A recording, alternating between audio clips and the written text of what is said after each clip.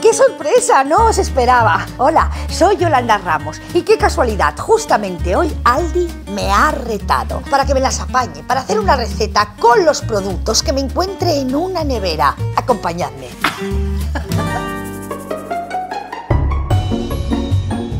Y aquí la tenemos. Vamos primero a intentar averiguar a quién pertenece esta nevera. Hombre, tenemos una ecografía, calendario vacunal infantil. Deben ser unos padres primerizos. Esta es la prueba. La familia crece. A por el reto. Hombre, no, esto no me lo hagáis tú. Alimentos saludables, los que no combinan ninguno entre sí. Yogur, yogur, yogur. Tomate, chirri. Calabacines. A ver, me hago ahí. Sí, perejil, perejil. Un huevo. Ya está. Ya veis aquí todos los productos. No olvidaros sobre todo de los básicos, lo que tenemos en cualquier cocina, como es el aceite, el ajo, la sal. Vamos a añadirle un poquito de cayena y comino. Yo estoy, perdonar, ¿eh? que divague. ¿Cómo yo entro en la ecuación para hacer esto? Hice un programa de cocina, pero vamos, no es muy fuerte. Ya sé por qué. Es porque todo lo que hago lo lleno de luz. ¡Viva mi magia! Me pregunto... ¡Ah! Me he cortado, ¿eh?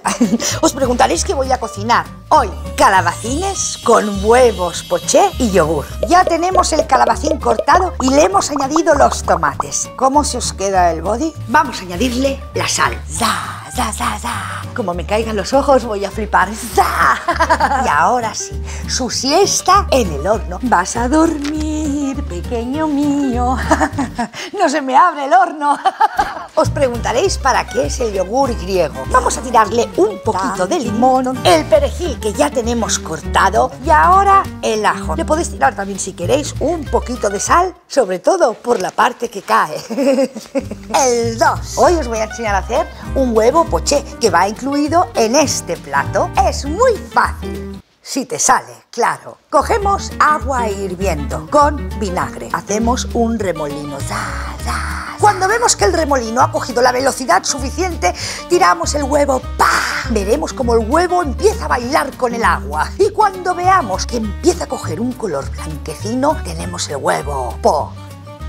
Che. Y sobre todo, acordaros de poner de base la tortita.